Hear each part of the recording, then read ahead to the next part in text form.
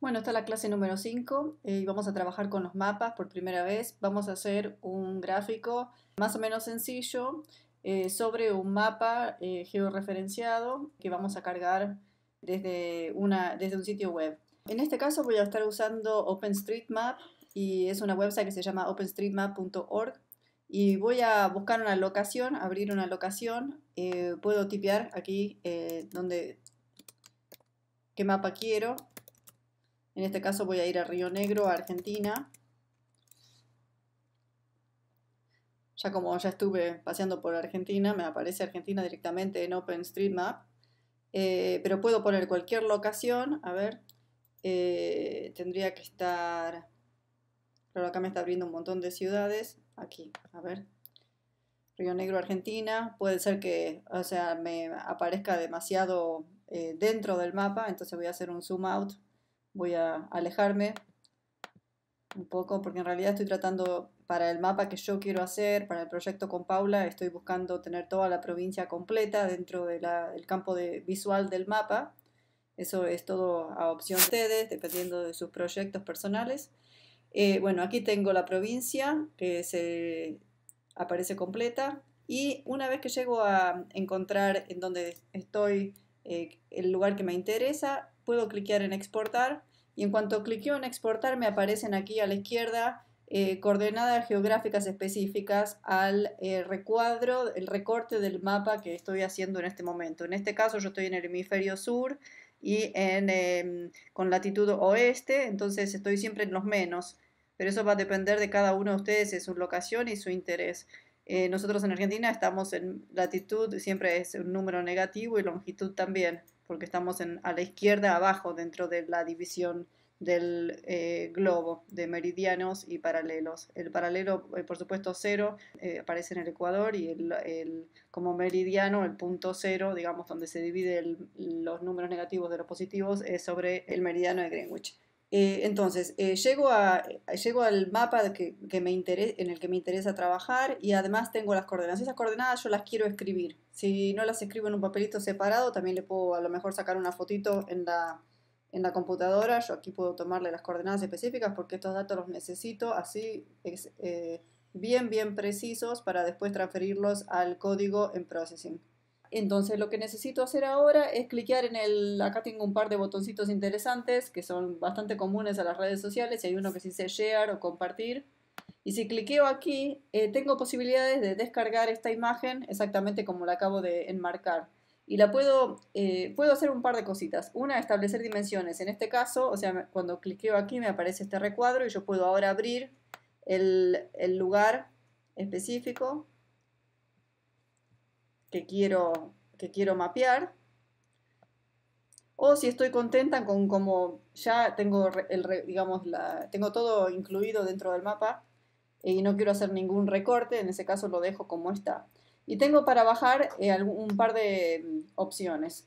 Tengo primeramente un PNG y un JPG. Un PNG y un JPG son archivos eh, raster eh, digitales. Eso quiere decir que son como fotografías, están organizados píxel por píxel en una grilla de píxeles por píxeles eh, y además están ya eh, definidos en su resolución.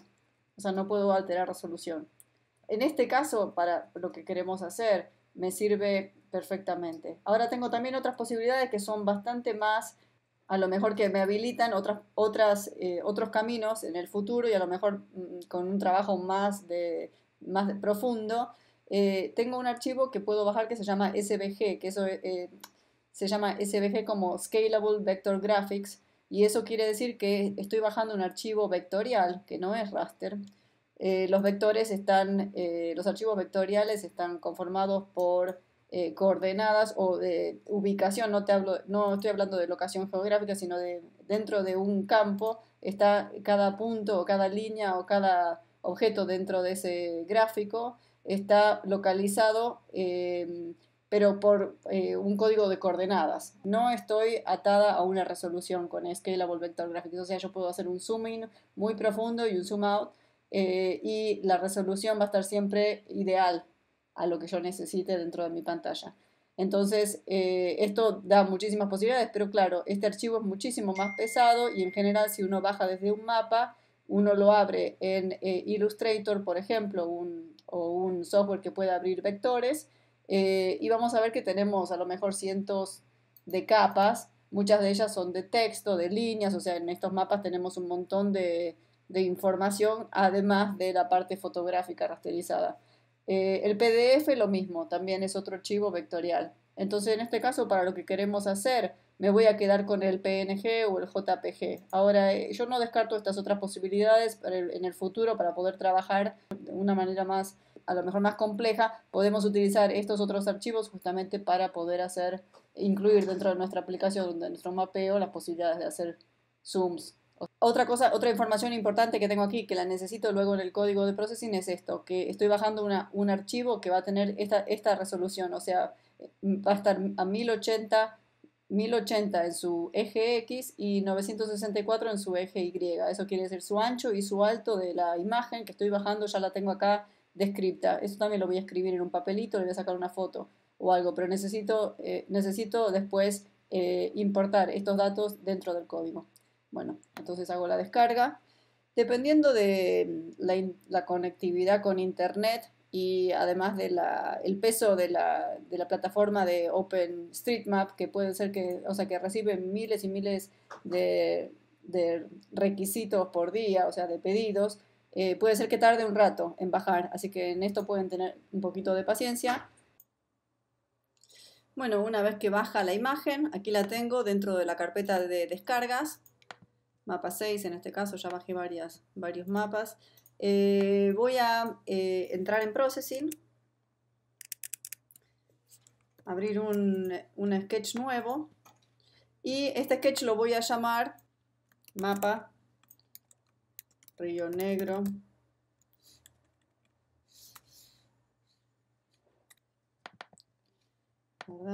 Y lo que quiero hacer es en el sketch crearle una... Voy a ir a, la, a donde dice... Perdón, esto lo hice muy rápido. Voy a ir a donde dice sketch y eh, bajar a donde dice show sketch folder. O sea, esa es la carpeta del sketch, ahí donde yo lo salvé. Ya se me creó una, una carpetita que dice o sea, me aparece justamente este, el editor, que ya le puse nombre, mapa Río Negro, PDE. Ok, y aquí voy a crear una carpeta. Esta carpeta es importante que se va a llamar data. Aquí en esta carpeta de data le voy a incorporar todas las eh, instrucciones y cosas que quiero que este código corra. En este caso, como tengo una imagen que bajé de internet, mapa 6, que la quiero utilizar como imagen, la voy a poner dentro de la carpeta de data. También le voy a cambiar el nombre, prefiero que se llame mapa. Ok, aquí está el mapa y es un PNG. Entonces ahora vamos a proceder a cargar esta imagen, armar primero el código y a cargar esta imagen dentro del código. Lo primero que vamos a hacer es armar este canvas, como ya lo habíamos armado. Y eh, vamos a incorporar las funciones de armado de eh, imagen. Y bueno, acá tengo mi pequeño machete, ustedes pueden, eh, yo este código se los voy a subir a la clase, ustedes pueden siempre tener códigos base como para copiar y pegar, para poder eh, armar sus códigos un poco más complejos, uno va creando parte por parte y no necesariamente tiene que escribir todo.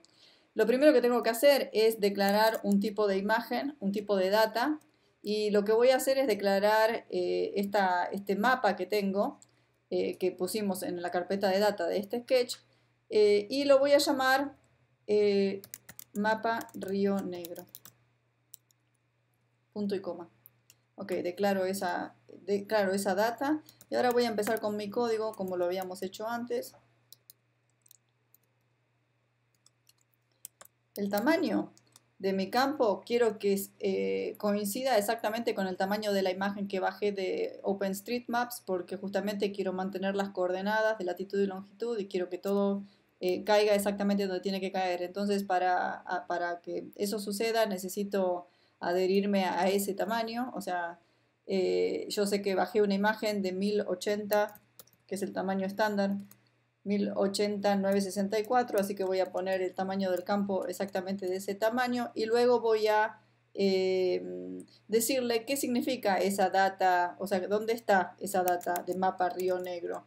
Entonces ahora le voy a decir mapa Río Negro es igual a load image Eh, la sintaxis de esto es eh, así en Processing y en código Java y no lo puedo cambiar, así que esto no ni siquiera hay que memorizarlo, nada más hay que entenderlo y luego siempre copiarlo. Load image y lo que quiero poner acá entre comillitas es el nombre de el archivo ese que puse dentro de mi carpeta de data del sketch. Yo le puse mapa.png, así que acá tal cual mapa.png comillitas. Las comillitas me denotan un tipo de data string, como si fuera una oración o un texto.